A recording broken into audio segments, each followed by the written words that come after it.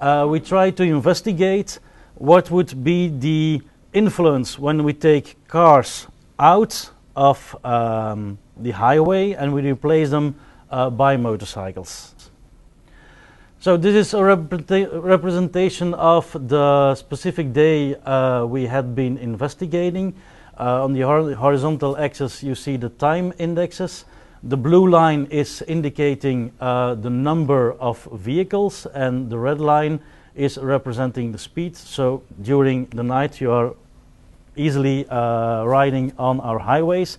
Then you see as from uh, even 5 in the morning you see that more and more people are getting on the highway which causes after uh, a few hours uh, that we uh, have a lower speed and that we are stuck in a traffic jam.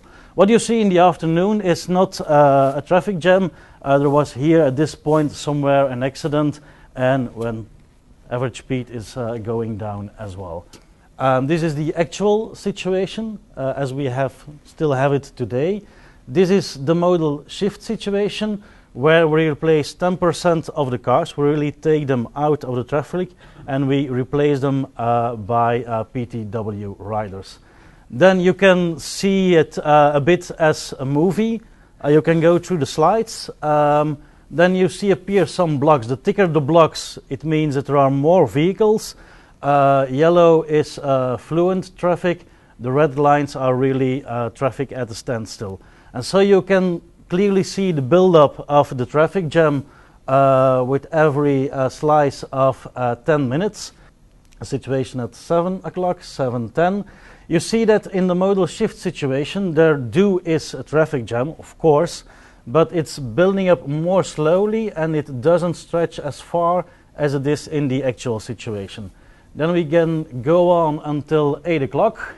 There we are really in trouble and losing a lot of time.